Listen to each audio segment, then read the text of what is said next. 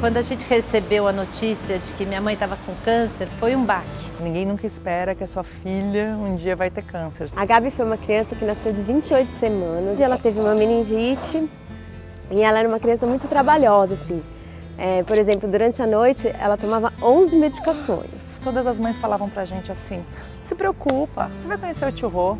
Tio Rô tá no ambulatório. Ele fez toda a diferença no tratamento da minha baixinha. Sem a Alessandra, o tratamento da minha mãe não teria chegado até aqui. São quatro anos de muita luta, sofrimento, mas muitas alegrias. Eu me emociono todas as vezes que eu falo do carinho imenso que ela tem pela minha mãe e da capacidade de olhar para minha mãe e entender como ela está. É, é, difícil, ela tem três anos, tem que funcionar catéter, tem que fazer exames periféricos, é, injeçõezinhas.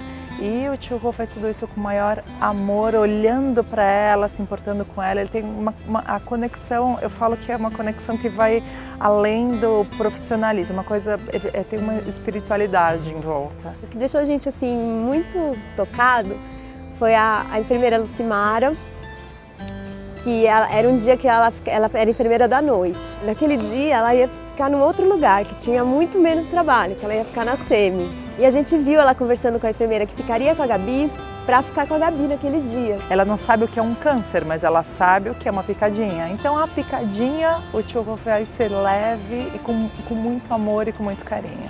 E isso pra gente foi muito legal, assim, porque, meu, ela deixou de trabalhar menos para cuidar da Gabi. E hoje a Gabi está aqui.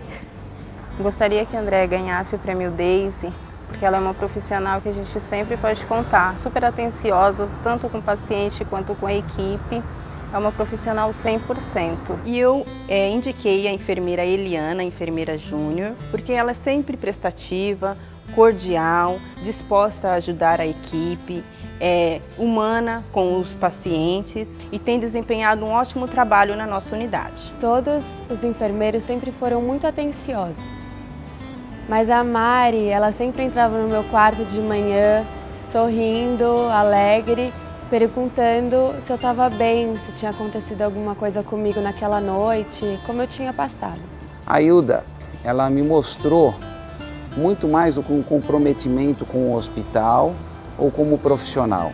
Ela mostrou comprometimento com o paciente também. Eu presenciei alguns fatos de troca de turno em que eu estava sendo assistido por ela. Por todas as vezes que eu tive essa troca de turno, ela preferiu terminar o procedimento dela para que depois deixasse o turno na sua troca. Teve uma vez que foi a mais marcante de todas, que eu tive uma paralisia, eu não conseguia mexer o corpo, eu não conseguia mexer a boca, eu não conseguia falar nada. Foi então que chamaram a Mari e ela entrou no quarto, segurou minha mão e com calma olhou nos meus olhos e perguntou, Ma, o que, que você tem? O que está acontecendo com você? Foi então que eu conseguia começar a movimentar minha boca e ela, com leitura labial, conseguiu começar a entender o que estava se passando comigo. Sou realmente muito grata a ela por toda essa atenção e carinho que ela deu no que eu considero um dos piores dias da minha vida.